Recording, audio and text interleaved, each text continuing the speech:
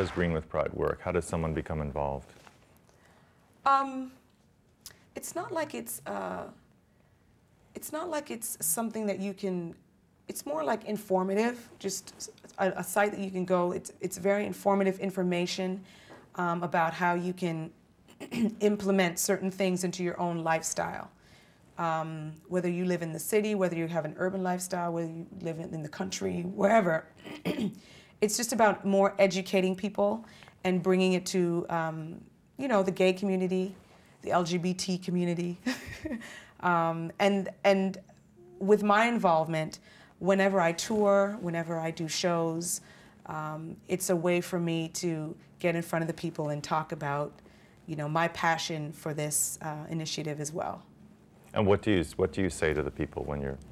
Well, usually it's by, my thing is always lead by example, you know, and so uh, for many people who may not have who may not know that side of me, um, I don't want it to seem like you know I'm jumping on the bandwagon or mm -hmm. anything. I want people to know that this is that I come from a place that has done this for years, and um, I kind of took it for granted for a little bit until I moved to LA and then realized that, wow, not everybody um, is informed or even, you know, understands the impact um, of small changes that they can make in their own life. So I'm part of um, the, the team, you know, to bring this, this whole thing forward, you know, especially now having kids, it's now even, um, more in the forefront now, more of a focus. You said that small things can create big change. Yes. What do you mean by that?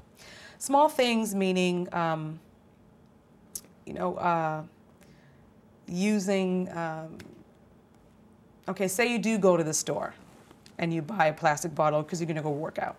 Well, you can still use that bottle as opposed to buying more, you know, water bottles, stuff like that. But that's one um, water bottle. That's so someone will say that's one water bottle. That can't make a difference. Why um, do you um, still do that? I th I think, well, I, I certainly believe that you change yourself, you change the world, you know, and um, it's just those kind of things. Um, just small little changes. Change your light bulbs, you know um, the things that you hear constantly, you know, if you just implement it and do it, and um, you you may not see the effects of it right now or even in, in your lifetime, but at least you know the kids, the ones coming up, will be able to be beneficiaries of it.